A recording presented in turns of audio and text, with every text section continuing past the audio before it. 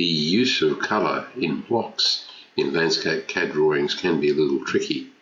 This hedge through here has been created by using a block, it's called U-Plant Hedge number 2, and you may notice that if we zoom in a little, inside the block, each little blob has different colour associated with it.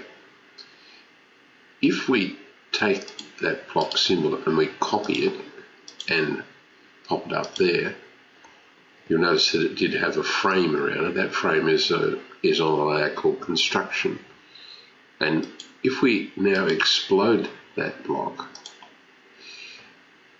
and we select individual elements within the block, can you see that each has color set explicitly? That one is color 66. This one here is color 52 and so on. So inside the block symbol, the explode command breaks it up. Inside the block symbol, these elements have been have had their color set.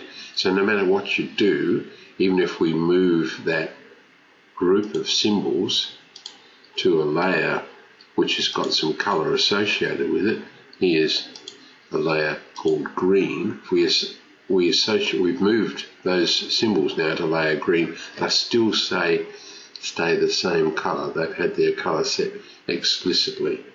We have to change the properties of all of those so that they inherit color by the layer that they are on. So now I've changed it to color by layer and the layer that they're on has color associated with it and now they all appear green. So they're on a layer called AA green and you can see we've associated the color green with that layer. You can also within a block associate different line thicknesses to elements in the block.